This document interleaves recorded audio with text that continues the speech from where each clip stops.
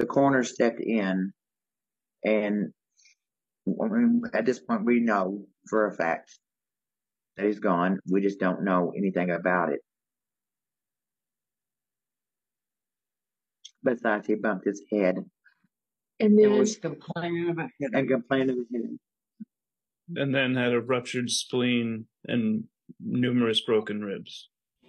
I got a call, private number call, at 1:47 a.m.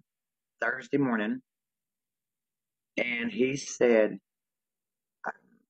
"What is your relation to the inmate Marshall Price?" I said, "That's my brother. What happened?" Marshall bumped his head. I said, "Who hit him?" No, ma'am. No, ma'am. No, ma'am. He he bumped his head and complained of a headache. And I asked again. I said, "Who hit him?" Because I, I I felt it in my gut at five. I just kind of ignored it, thinking they'd call me. He said, "You need to go to AMMC, speak to a nurse named Crystal." He said, "Go ahead and call your family." And I said, "Is he dead now? Is he dead?" Ma'am, you need to go on to AMMC. I said, "Who hurt my brother?" And he wasn't going to answer any side questions of mine. He wasn't going to answer any direct questions. He was just trying to talk over.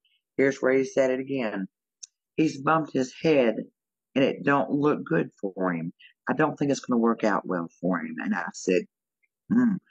I hung up. I actually hung up on him. I hung up on him. Called my mom. Um, ran for the hills.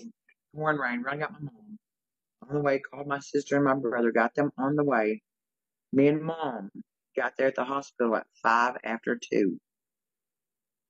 When we walked through the doors, the woman met us and mom said, We're here. I had to move the car.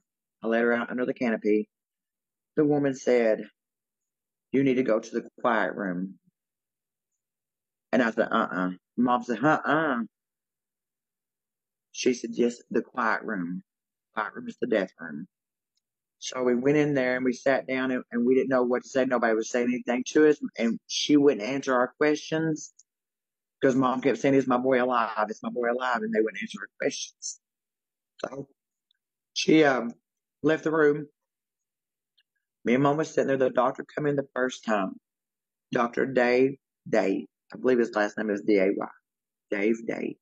He said Marshall was brought in at a little after five yesterday. 5, 5 p.m. Yes. And I said, he said, we wondered why he was alone and nobody was here for all these hours. I said, we never received a call. Till 147, I answered the call to the jail ad- admin at 147 a.m. We came straight here. We got here at, you know, five after two. So he said, Marshall, I said, they said he bumped his head. He said, Mama, you okay?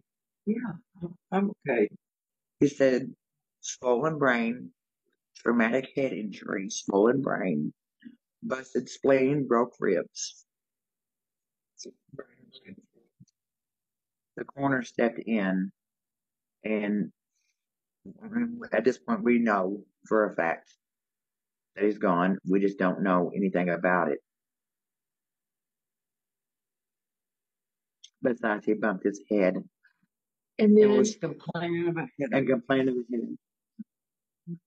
And then had a ruptured spleen and numerous broken ribs. Mm-hmm.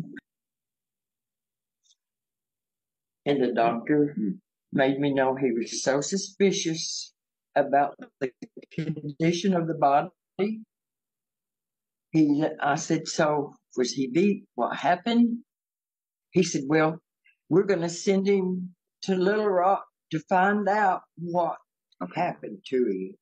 He said he's going to the crime lab. they wouldn't let us see him. No, no, Couldn't he, see him, couldn't touch and, and in the corner, I said, "Can I see my boy?" And he said, "Ma'am, families always want to, but he said it wouldn't be wise." And then he said, "You can't go in there because you want to touch him, and you can't touch Touched him. him." He's in crime scene. Can't touch him.